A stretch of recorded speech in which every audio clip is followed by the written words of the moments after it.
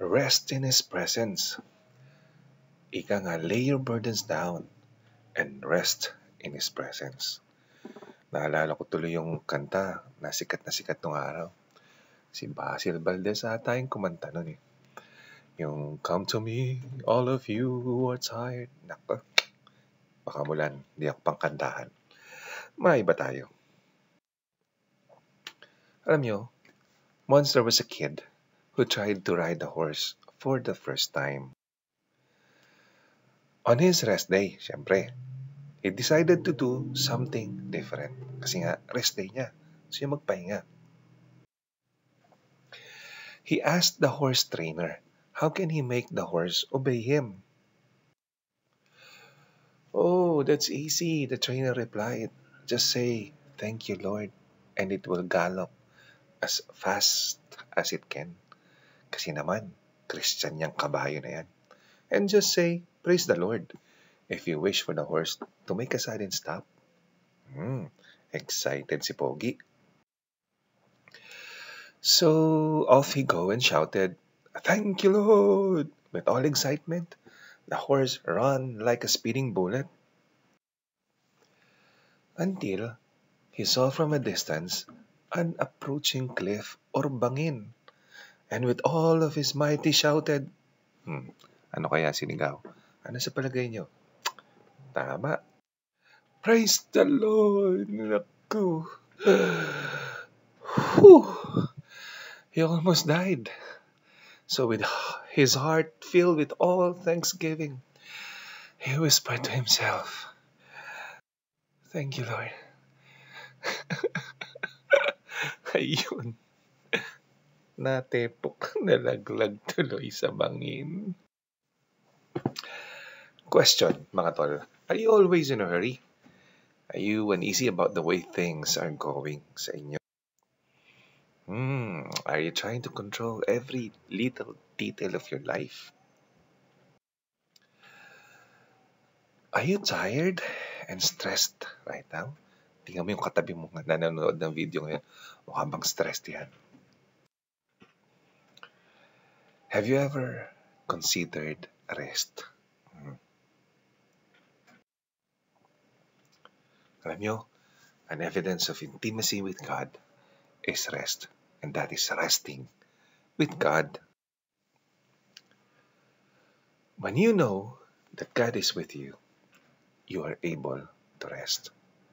Di ba, makakita ka nga kadalasan ng mga pusa or kahit mga tuta or aso na kapag ka alam nila na nandyan ka, eh panay ang pulupot sa'yo.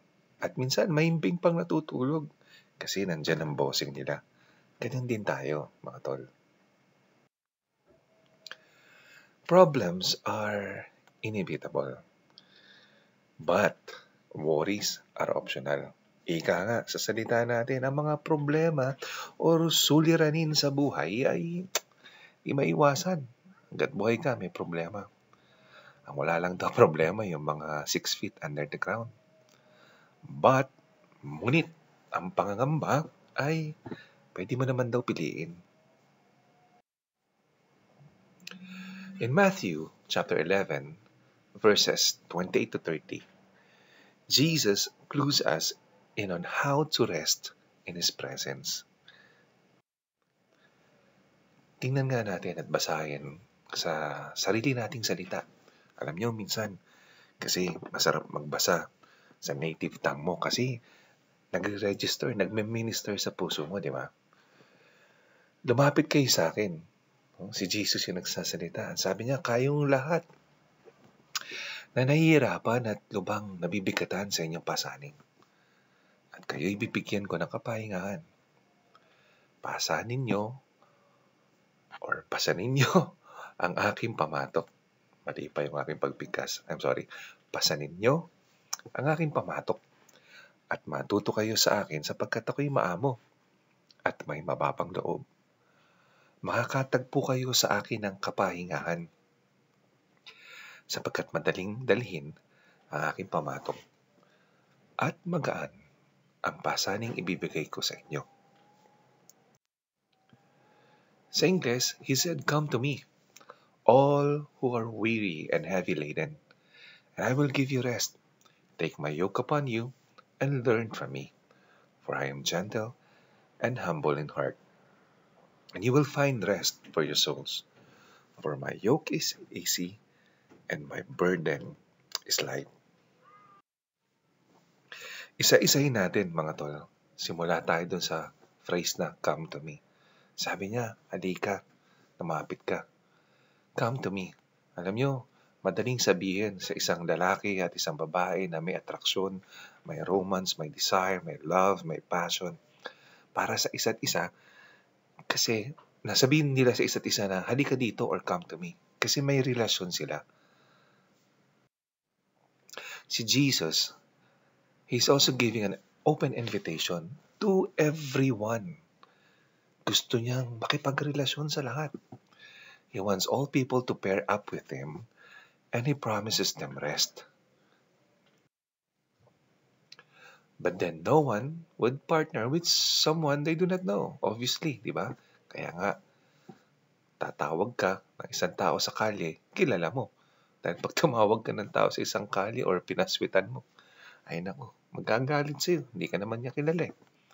This is why in Matthew 11:27 or yung verse before sa verse na binasa natin, Jesus establishes who He is and why we should trust Him.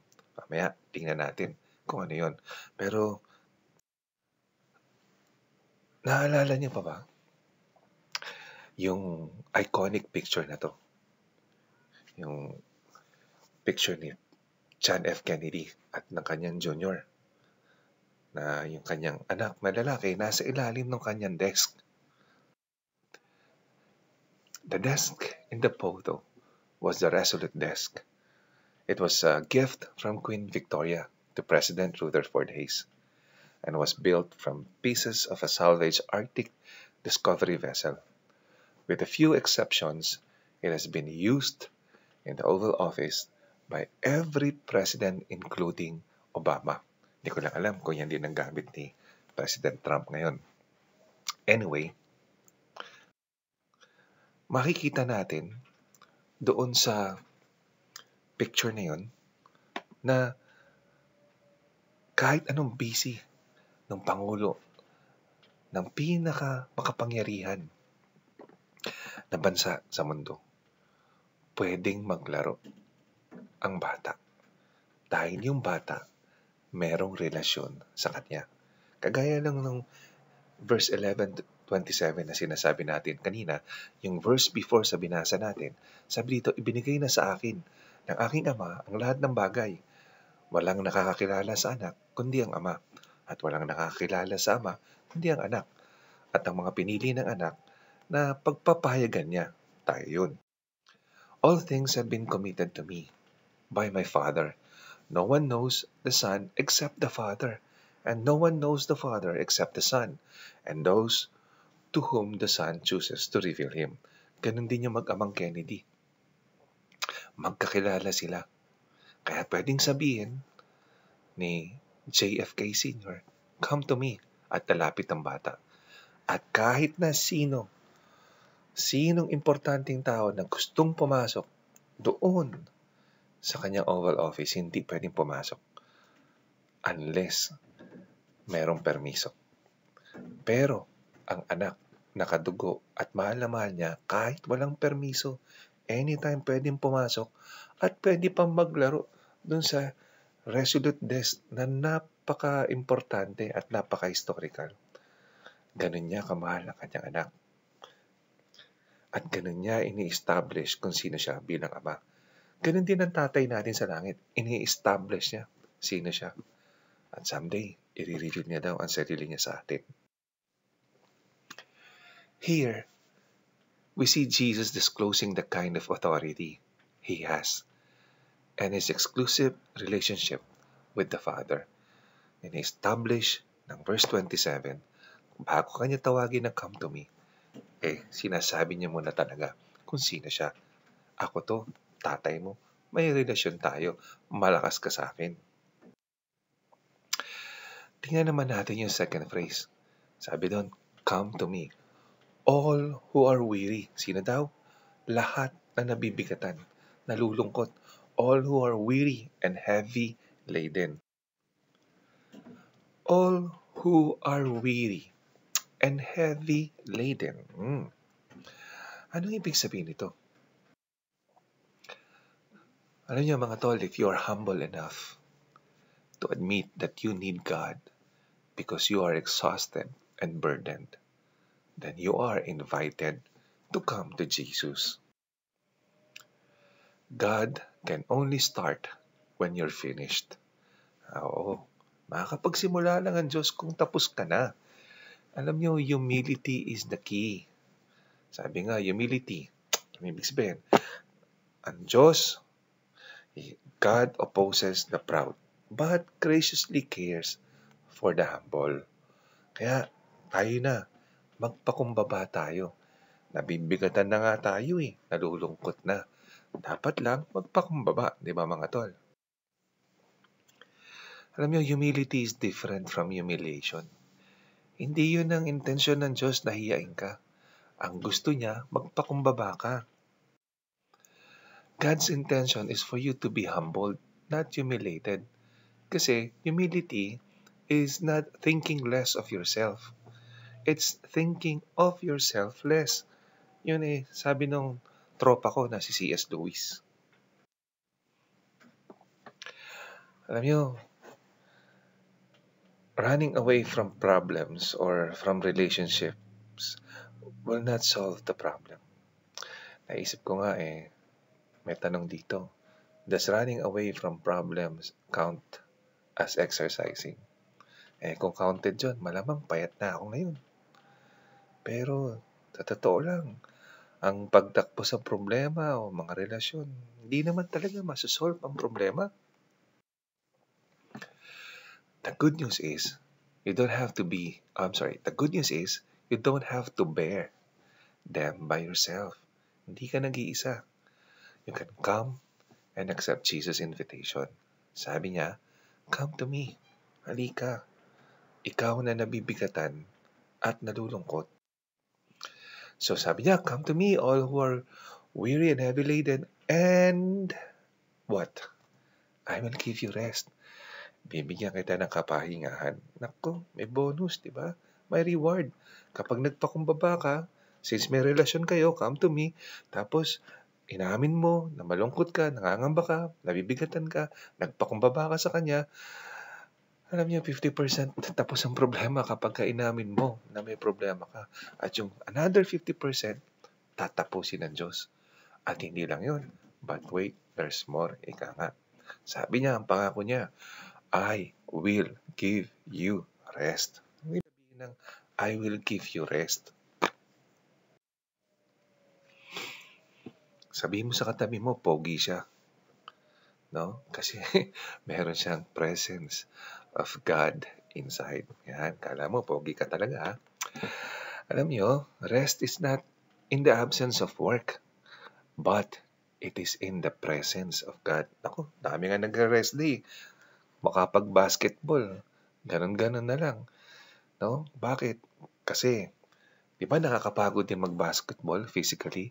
Pero, supposedly, pagod ka na the entire week magtrabaho, and then sa rest day mo, di ba dapat nag-chill ka na lang, nanood ka ng Netflix, ng Amazon Prime, ng Hulu, ng uh, Showtime, kung ano ng mga pinapalad mo, YouTube mag-rest ka, pahiga-higa habang kumakain ng chips at uminom ng Coca-Cola. Eh kaso, gusto mo mag-basketball, ano? Eh kasi nga, hindi lang naman tungkol sa physical fatigue ang pagpapahinga. Kahit nakakapagod ang pagbabasketball, for some people, they find rest doing it. Masaya sila. At na pakiramdam nila, napapahinga yung kanilang kalooban, kanilang mental, kanilang uh, emosyonal na na estado. Alam niyo, the distinguishing mark of God's people is God's presence in their life. Sabi mo sa katabi mo, I'm not single, I'm in a relationship with God. No? Ano ibig sabihin natin dito? Tingnan natin sa Exodus chapter 33 verse 16. How will it be known that I and your people have found favor with you unless you go with us? I and your people will be distinguished by this from all other people on the face of the earth. Sa Tagalog, sapagkat kung hindi kayo sasama sa amin, paano malalaman ng lahat na kami po ay inyong kinalulugdan? Kung sasama kayo sa amin, maliwanag na kami naiiba sa lahat ng mga bansa. So, sila Moses, yan ang binabangkit nila sa Panginoon. Lord, para ma-distinguish na kami ay sa'yo, dapat kasama namin kayo. God's people respond to problems differently as they practice the presence of God. Intimacy with God results to restedness. Alam niyo, ang anak ng Diyos pwedeng magpahinga kahit pagod ang katawan. Ang anak ng Diyos nakikilala dahil kasama niya ang Diyos. Kaya importante na tayo may magandang relasyon sa ating Panginoon. Kasi pag umalis ang presensya ng Panginoon sa buhay natin, ay patay na. Wala na. Magiging restless na tayo. So tandaan nyo, hindi lamang ang pagpapahinga ay patungkol sa physical na resting. May tinatawag na spiritual rest. No? Mental rest, emotional rest, psychological rest, so on and so forth. At ang pinaka-importante sa lahat ng klase ng rest ay yung may assurance ka sa puso mo na nandyan yung boss mo. Pwede kang matulog.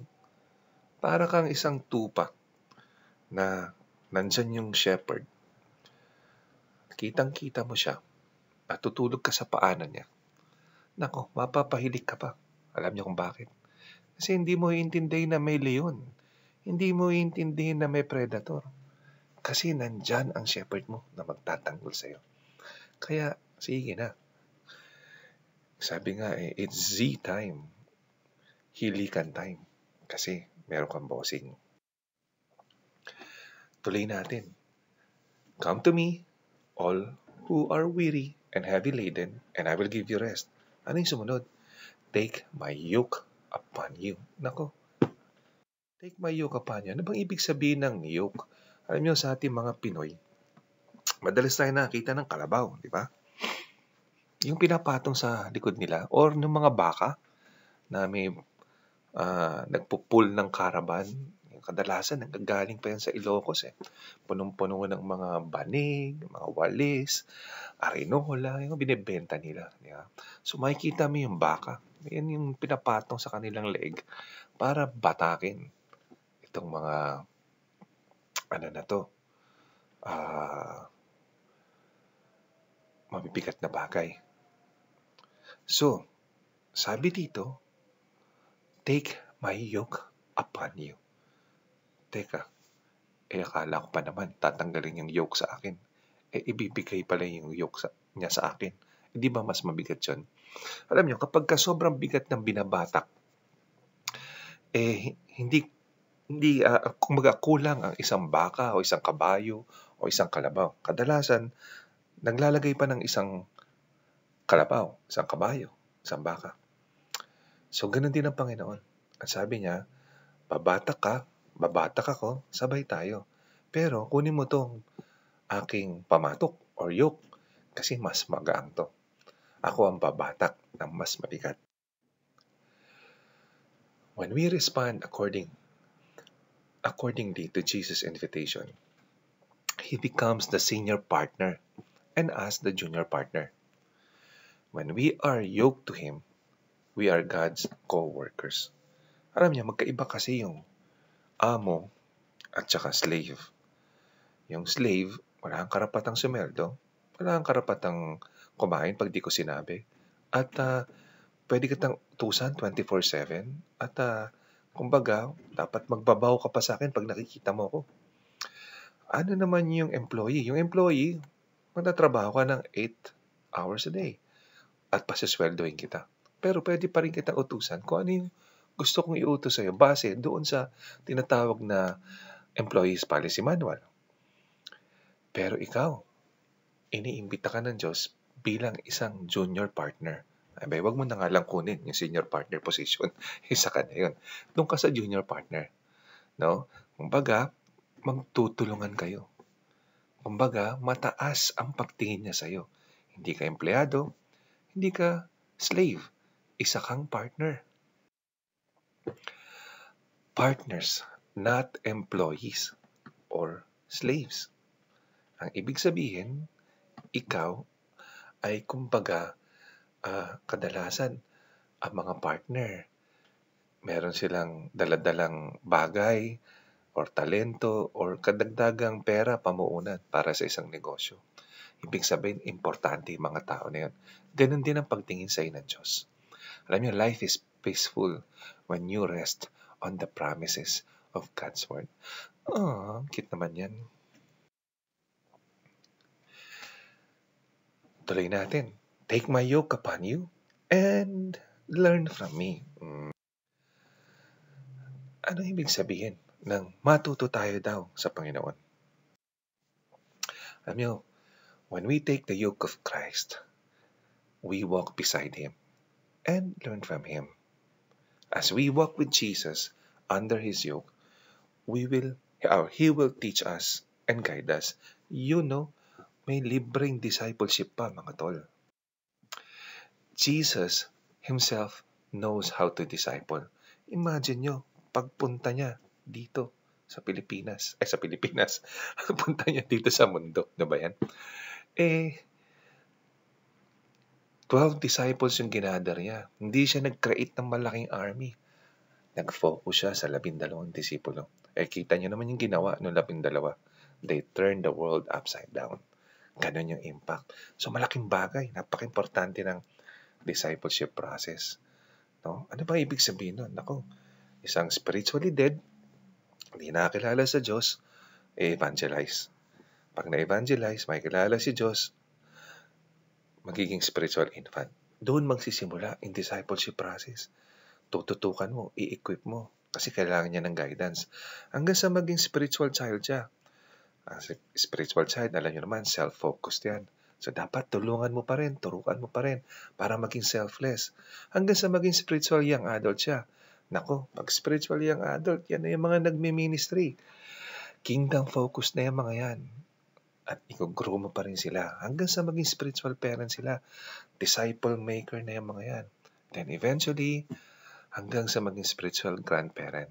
Those people making disciple makers. Yun, sarap ng pakiramdam. Pero hindi ka nila boss. Disciple, discipler ka nila.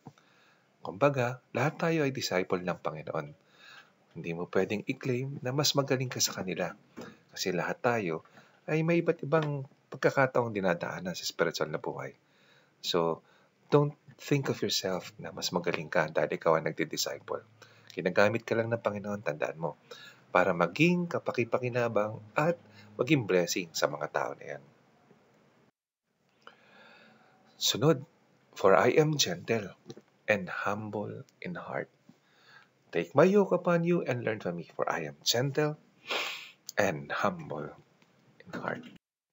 Mm, ang cute.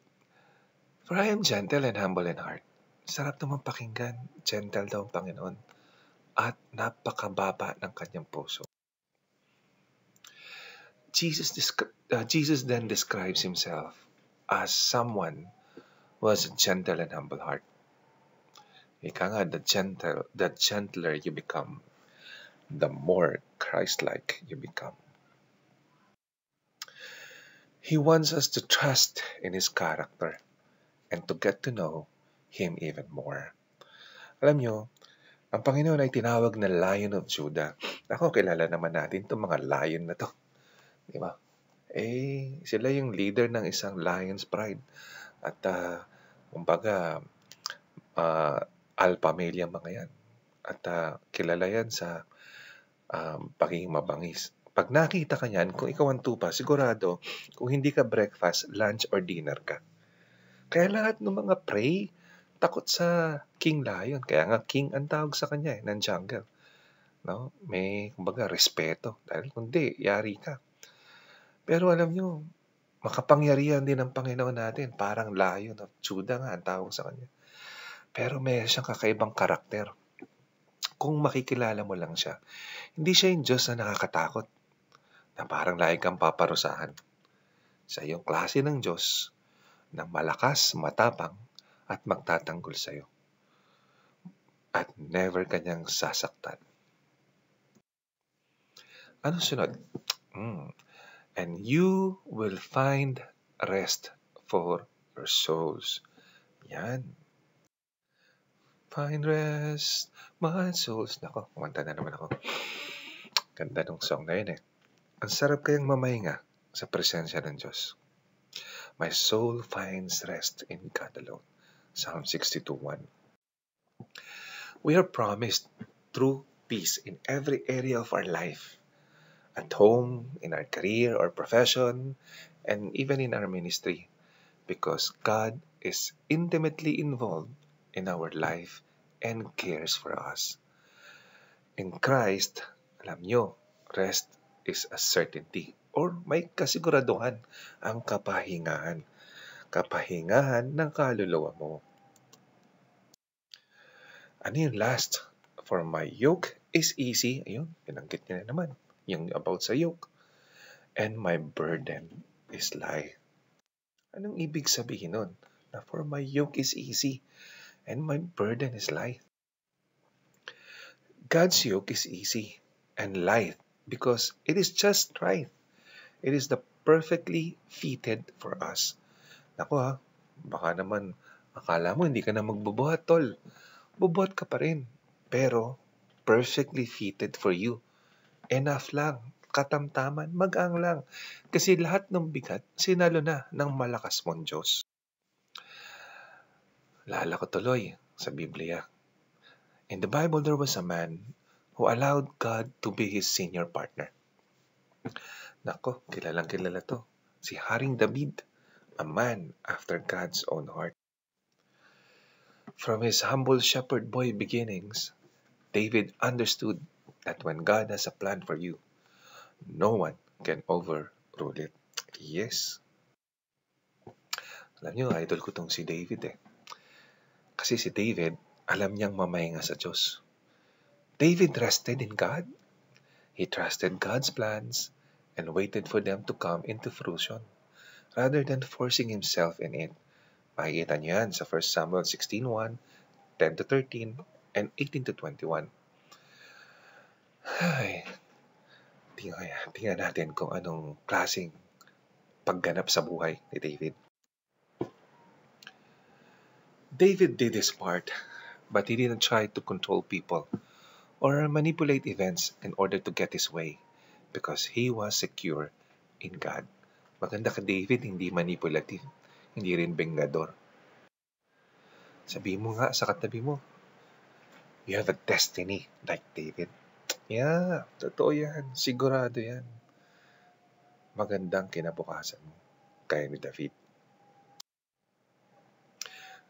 Tingnan nga natin, ano ba nangyari kay David sa 1 Samuel 16:1-13, yun yung inanoint ni Samuel si David. At ano ba nangyari? Teka, makichismis tayo. The Lord, said, uh, the Lord said to Samuel, How long will you mourn for Saul? Since I have rejected him as king over Israel. May move on ka na. Ika nga, fill your horn with oil and be on your way, sabi niya kay Samuel, I am sending you to Jesse of Bethlehem. I have chosen one of his sons to be king. Jesse had seven of his sons pass before Samuel. But Samuel said to him, The Lord has not chosen these. So he asked Jesse, Are these all the sons you have? Teka, trivia. Si Jesse ay lolo ni Joseph. Joseph na tatay ni Jesus. tinanong niya, Are these all the sons you have? Jesse, ito lang ba mga anak mo? Ah, there is still the youngest, Jesse answered. He's tending the sheep. Hmm, kumbaga, parang sinasabing di naman ganun ka-importante. Pero tingnan niyo yung sagot ni Samuel. Samuel said, Send for him, and we will not sit down until he arrives. Wow, astig, di ba? Imagine, hindi pa nga hari, pero yung respeto nandun na walang uupo hanggat di dumadating ang future king. Nasa mata nyo ay shepherd boy lang. So he sent for him and had him brought in. He was glowing with health and had a fine appearance and handsome features. Parang ako. Joke lang. then the Lord said, Rise and anoint him. This is the one. Wow. So Samuel took the horn of oil and anointed him in the presence of his brothers. Kaya iniisip ng mga kuya niya. And from that day on, the Spirit of the Lord came powerfully upon David. Samuel then went to Ramah. Alam God will all, all, nabulol na naman ako. God will orchestrate your life. You don't have to manipulate it. You don't have to manipulate people. You don't have to push yourself into certain situations. God will orchestrate your life. Just allow yourself to be a clay. He is the potter. You're the clay. Remember, you are made with a purpose. One of the servants answered, I have seen a son of Jesse of Bethlehem who knows how to play the lyre. He is a brave man and a warrior. He speaks well and is a fine-looking man. Pinaka-importante sa lahat. And the Lord is with him. Sino sa salita? Servant ni Saul, ni King Saul. Kasi medyo napapraning siya, no? Kailangan niya ng something that uh, ease up yung kanyang uh, uh, uh, kanyang depression, anxiety. Ito, nirekomenda si David. Hmm. Nung kanyang servant kay King Saul. Then Saul sent messengers to Jesse and said, Send me your son David, who is with the sheep Hmm, tanyo naman ang category niya. Padala mo sa akin anak mo yung uh, lagi may dala ng tupak, no? Kasi minsan may ganun gan uh, ano eh. Uh, ayan no si ano yung doktor, di ba? Ayan si ganun yung uh, teacher, no? Yan si ganun yung engineer, no? Kumbaga, wow. Pag binanggit yung pangalan ng isang tao sa atin, no? Sa kultura natin, merong may karugtong kaagad na kung sino siya. Ito, paano siya dinefine? Who is with the sheep? Patay. Hindi daw ganun ka, ano, no? Kastig. Pero, di ba talaga astig yung bida natin? So Jesse took a donkey loaded with bread, a skin of wine, and a young goat, and sent them with his son, David, to Saul. David came to Saul and entered his service. Wow! Bait naman. Imagine, inanoint ka na. Hindi siya yung tipong, Oy mga tol, mga kuya, lagi niyo kinutusan ha. Ngayon ako mag-utos sa inyo kasi future king ako ng Israel. Ah, uh, Saul, pinatawag mo daw ako para ako'y alilain. Uh, paalala ko lang sa iyo, King Saul, na ako ang future king at papalitan kita. Hindi siya ganun eh. Alam niyo yun? Sabi dito, he entered his service. Ibig sabihin, nagpakumbaba ay iba talaga no kapag uh, you're resting in the presence of God. Saul like him. Uh, sa Pilipino kasi Saul. Sa English, Saul. Saul liked him very much. And David became one of his armor bearers. Wow. Pag sinabing armor bearers ka, uh, armor bearer ka, tol, ibig sabihin pinagkakatiwala ka kasi mahirap ipadala or ipabitbit yung armor. No? no, sa tao niya pagkakatiwalaan, baka yariin ka. Pero ito, no, laki ng tiwala niya kay David. Tingnan nga natin yung timeline sa buhay ni David. Nagsimula siyang shepherd boy. Inanoin siya ni Samuel, di ba? Nag-serve siya King Saul. There was a time pumatay siya ng isang malaking giant, pangalan Goliath. Naging famous warrior siya. And then sa inggit, he was hunted by King Saul. Pero namatay si King Saul, pero hindi siya pumatay ha. David became king. Galing, ganda na nangyari. Sabi nga sa Israel, golden years yun. Yun lang, may sablay, kagaya nating lahat, may sablay din tong ating idol eh, naging adulterer. Saka na natin pag-usapan yon kapag uh, tumating tayo sa tamang topic na yon. Pero pagkatapos siya magkasala, eh, nirenew niya ang sarili niya sa Panginoon. He was renewed. Pero pansinin niyo, mula sa kanyang kababaan, sa pag-angat, hanggang sa pagiging hari, hanggang sa pagkakasala, in everything and all the time, He always put his trust in God. Amen? Galing, no? Tanong ko lang sa inyo, are you stressed and tired? Perhaps uh, it is time to rest and trust in God as David did. Diba? Dapat lang, ano? Kasi sarap niyang gayahin. Baka nga, panahon na para ibigay natin yung bigat ng puso natin sa Panginoon at mamahinga kagaya ni David. Pero alam nyo, isa sa pinaka mahirap na pangyayari sa buhay natin eh, kalimutan ng nakaraan. Napatawad na natin yung sarili natin, napatawad na yung, yung mga nagkasala sa atin, maaaring pinatawad na tayo ng mga taong pinagkasalanan natin, Kas, pinagkasalanan natin. Maaring pinatawad na tayo ng Diyos, pero madalas hindi natin napapatawad ang sarili natin kasi lagi tayong historical. Naalala natin lagi yung past. Eh ano ba may tutulong na ng nakaraan sa pangkasulukuyan at sa pangkinabukasan, di ba? Kaya kung ako sa inyo, sunugin nyo na yung nakaraan. Matuto tayo sa nakaraan, pero kalimutan na natin. Sabi nga, let's burn bridges with the past. Here's to the past. Goodbye. Sunugin na yan. At be renewed today, kagaya ng ginawa ni David. Kaya inaniyaan ko kayo na come rest in His presence today. Mahal na mahal kayo ng Diyos. Hindi hindi niya kayo pinabayaan, hindi hindi niya kayo pababayaan, at hindi hindi niya kayo pinababayaan ngayon. Kaya kahit anong bigat na nararamdaman mo, isa lang ang solusyon dyan, tol. Ibigay mo sa Diyos. Sabi niya, mag-aanging pamatok niya. Magtuwang kayo. Bubuhatin ka niya kung kinakailangan.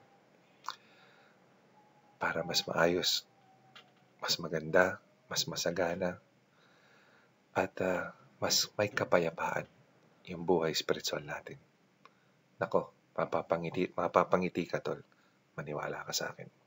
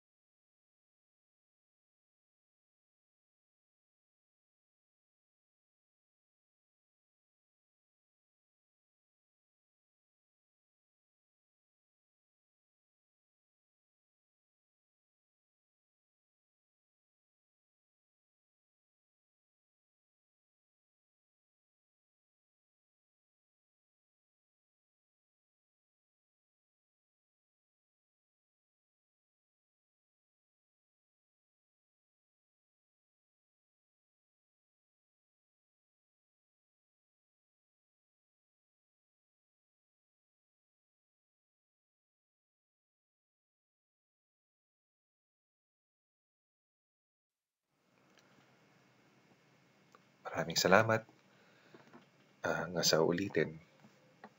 God bless you. And I hope na nag-minister ang Panginoon sa inyo sa araw na to. Babu. Bye.